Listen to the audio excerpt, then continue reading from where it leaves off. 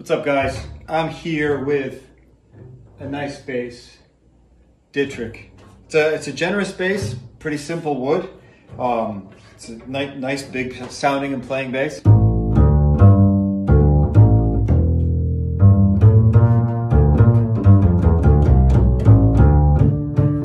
D-neck. This bass was marked up at like 14. Um, and I think it's now down at eight or 9,000. Nice sound sounding bass, something I would definitely enjoy and play. Quintessential Gamba.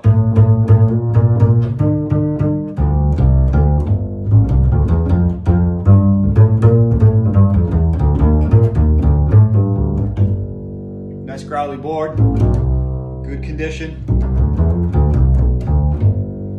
Owner wants to move it to do something else. Your game. Check it out. Talk to you soon.